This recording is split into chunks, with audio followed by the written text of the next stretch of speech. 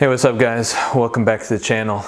I had a video that I was gonna release, but all this stuff that's going on with Russia and Ukraine, uh, I'll release it later or maybe not at all.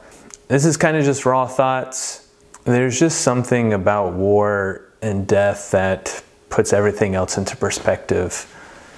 Uh, I actually had the honor of going to Kiev or Kyiv, Ukraine, a couple years ago and got to talk to several church leaders and thousands of disciples up there, both from Ukraine and Russia and other parts of Eastern Europe.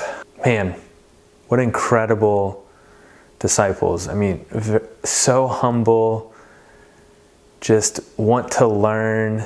Um,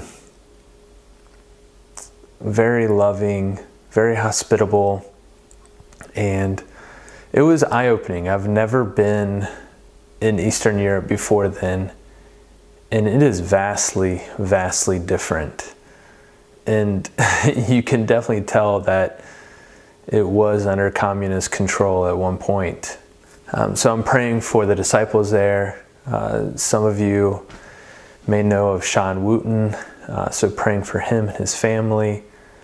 Uh, there were some great disciples that I met from Odessa, which was uh, struck by Russian bombs and missiles.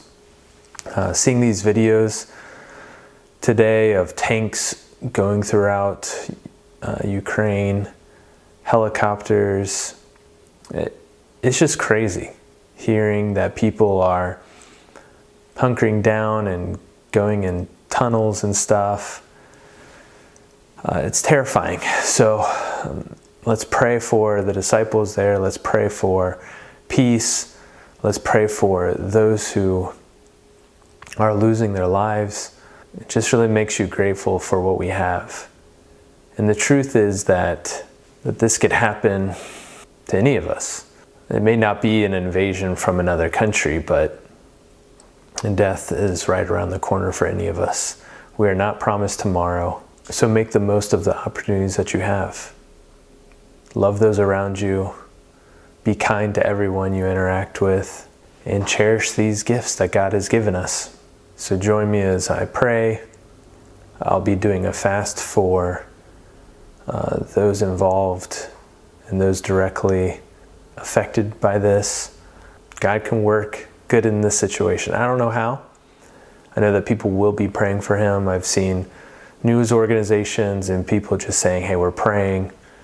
Obviously, during times of war and disaster, that's when a lot of people turn to God. So uh, God will draw people to Him through disasters. If you do happen to live in Ukraine, praying for you, we're with you. Stay strong. So I hope you guys are doing well. Till next one, peace.